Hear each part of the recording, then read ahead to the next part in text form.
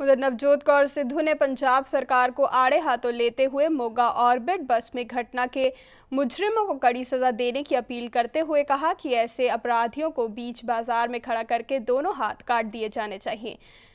जिन हाथों से उन्होंने मासूम लड़की और उसकी माँ को चलती बस से धक्का दिया था, वहीं पंजाब पुलिस द्वारा बादल कंपनी की बसों को पायलट लगाकर सिक्योरिटी देने की बात पर उन्होंने कहा कि खतरा बसों को नहीं, बल्कि बीच बैठी जनता को है। उन्होंने यह भी कहा कि इस ट्रांसपोर्ट की बिक्री से जाँच हो कि क्या यह लीगल फॉर्मेलिटी पूरी कर रही हैं।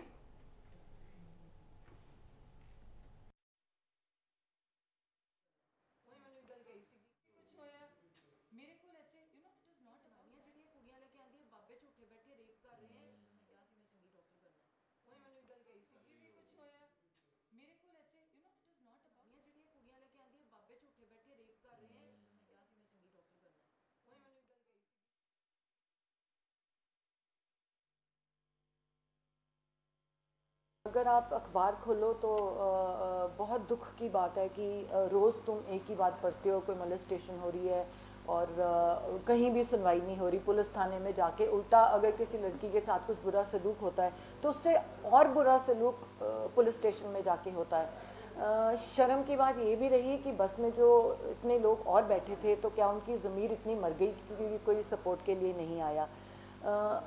क्या ये सरकार या जो बस के ओनर्स हैं, जो भी हैं, क्या तैयार हैं इस लेवल की पनिशमेंट देने के लिए ताकि आगे से ये इंसिडेंट ना हो? और वो लेवल ऑफ़ पनिशमेंट वो होता है कि मोगे के चौंक में खड़ा करके क्या वो तैयार हैं कि जिन हाथों ने उस लड़की को फेंका, क्या वो रेडी हैं उन हाथों को काटने के लिए? जहाँ एक जान गई है तो उसके लिए एक हाथ काटना मेरे हिसाब से तो कुछ भी नहीं है। और ये तो स्पेशली प्राइवेट बस ओनर्स हैं तो जो भी हैं प्राइवेट बस ओनर्स रिस्पॉन्सिबल जो हैं तो क्या वो जो एम्प्लॉयज़ रखे हुए थे, उनका कोई स्किल टेस्ट हुआ था? क्या उनका कोई मेडिकल चेकअप होता है?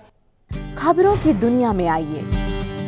हमारे साथ कहीं भी और कभी भी जुड़िए। हम मिलेंगे फेसबुक पर। हम दिखेंगे यूट्यूब पर। हमें फॉलो कीजिए ट्विटर पर। खबरों के साथ बने रहिए रात दिन।